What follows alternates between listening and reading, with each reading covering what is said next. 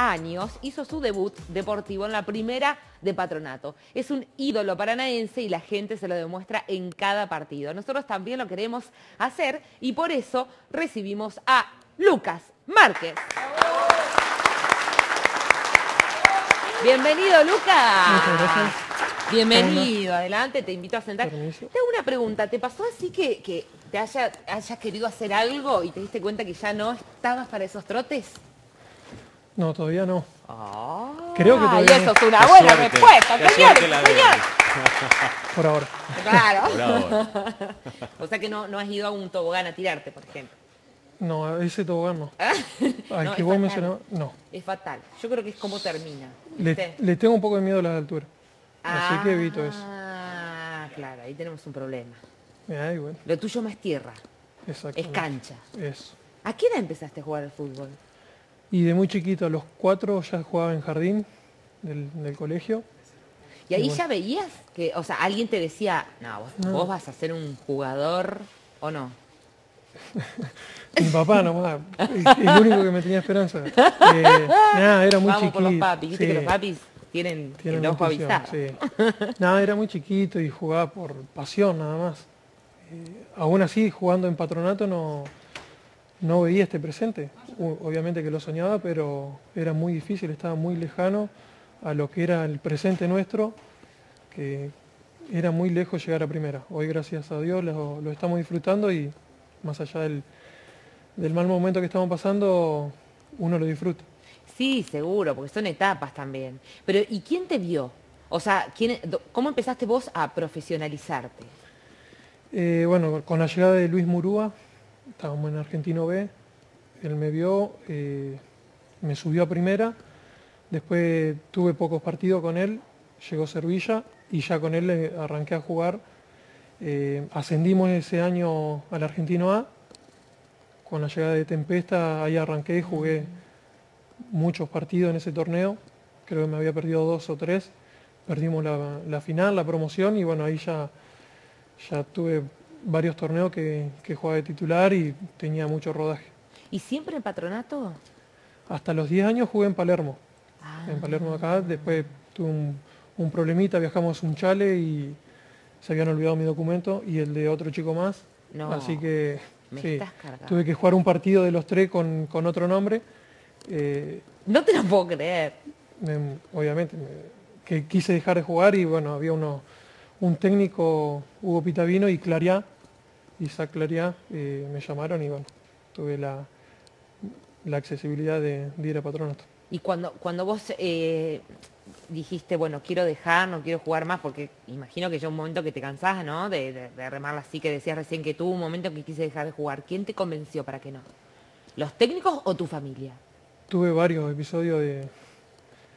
Uno fue ahí en esos momentos de, de que éramos chicos y por ahí se veía muy lejos la posibilidad de llegar. Eh, y el respaldo de la familia siempre es importante. En esos momentos era la familia la que lo bancaba.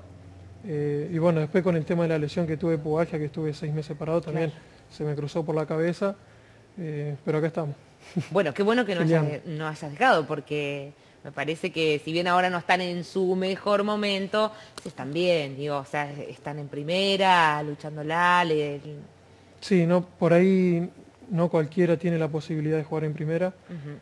Más nosotros, con el Seba, el Negro, el Gaby Graciani, que, que la veníamos peleando de muy abajo. Ese es el tema, son, Yo son no me como- podía, no quer- quería dejar por el hecho de que no me sentía bien, no podía, me despertaba muchas veces de madrugada por el dolor, eh, así que tenía la gana de dejar, pero por ahí vi tantos años peleando para llegar a primera y no poder jugar, era lo que me inclinó a, a no dejar.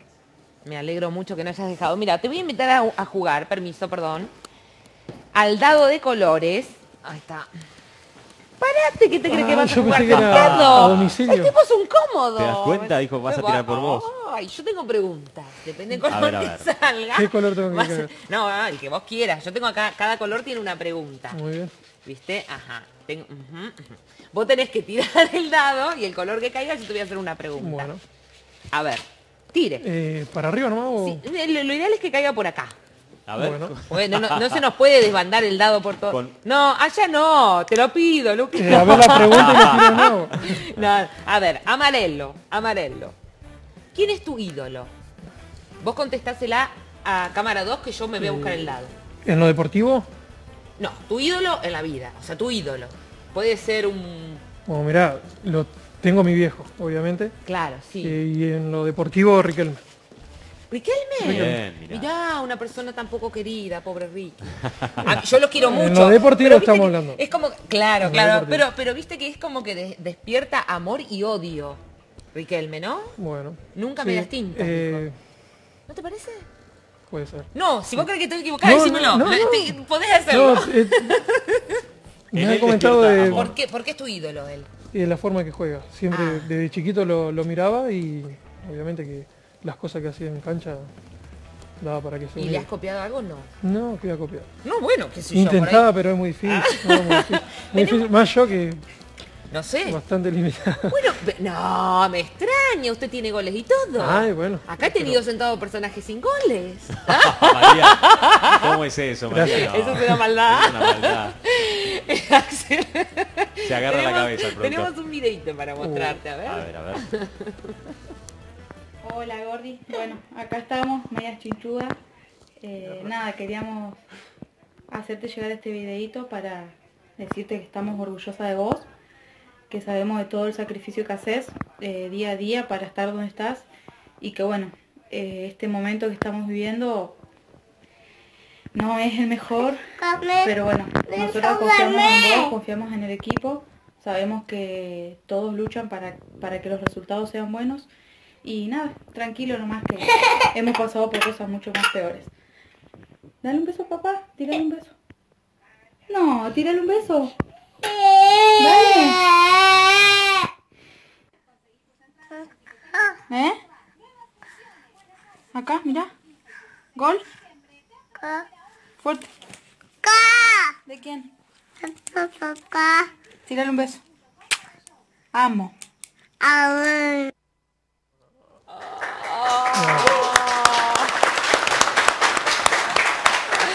Soy de emocionarme, pero no de, de demostrarlo. eh, pero la verdad, agradecerle porque siempre están eh, apoyando en todo momento. ¿Qué fue, qué, qué significó para vos la llegada de tu hija a tu vida?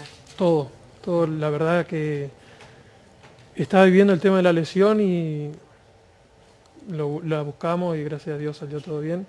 Así que obviamente que un hijo es todo para un, para un papá, por ahí el primero, así que lo estamos disfrutando más allá de que por ahí tiene esos ataques de, de llanto, bueno, pero, pero, viste que son chiquitos. son hermosos. A mí me gustan, así. siempre decía que me gustaban los hijos ajenos, Ah. porque lo, lo vivías en 5 o 10 minutos, pero no, con, con Delfina me dio vuelta, me da vuelta como una media.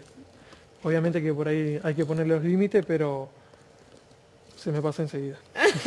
Qué grande, me encanta. Otro ¿Otra tiro te toca, mira. Otro tiro. ¿Eso sería celeste? Yo, Celeste. chicos, no veo bien. A ver. Celeste. ¿Te arrepentís de algo? Eh, ¿Sí? ¿Me querés contar? Ah, no, vos me preguntaste, Claro, yo respondí. no Son dos preguntas en una, entonces. ¡Ay, no! La parte interesante es la segunda. Claro, digamos, claro. Pero la pregunta es si me arrepiento de algo. Pero dice al lado Abajo que dice. cuente. sí. Que cuente qué. Y bien. De. La verdad hay muchas cosas. eh, por ahí de, de vivir cosas que, que el fútbol te lo prohíbe. eh, pero es la, la carrera que elegí. eh, y estoy orgulloso de eso. Excelente, me Te gusta. respondí Bueno, una nomás. Sí, muy bien. Una, bueno, pero viste que yo soy, yo me conformo. Muy bien. Me conformo Está, bastante. Está mal, Último está tiro. mal confirmado. Conformado. Es cierto, es cierto que está mal. Amarillo. Amarillo. ¿Otra Ah, vez? se repite.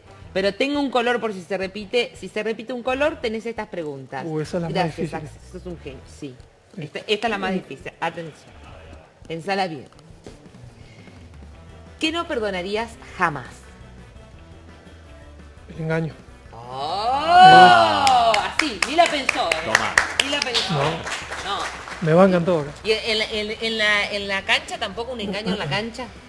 No, eso es más picardía que otra cosa. Ah, bueno, está bien. Eh, o sea, eh, te justificas. Eh, si me lo hace un contrario, puede ser que venga una devolución. Muy buena. sí, sí. Con devolución, excelente. Sí, Bueno, Lucas, un placer tenerte. Bueno. Muchísimas gracias por venir. Espero que venga, siga en ascenso la carrera tranquilo, porque escuchaba ahí a, a tu mujer que, que hablaba del, del momento, ¿no? Que están pasando. Pero se trata de eso, de, Sí. remarlo- de remar estos momentos y después disfrutar los buenos. Nosotros hemos pasado por momentos iguales o parecidos, en realidad no en esta categoría, pero siempre pusimos el pecho a la bala. eh, en estos momentos se demuestra quiénes, son, quiénes somos hombres y, y confío plenamente en el equipo, en el plantel, en el cuerpo técnico, que vamos a dar vuelta a esta situación. Seguro, seguro. Y a disfrutar, a Sí, disfrutar de la vida. ¿eh? Un aplauso Muchísimas para gracias. Lucas, que estuvo excelente en la entrevista.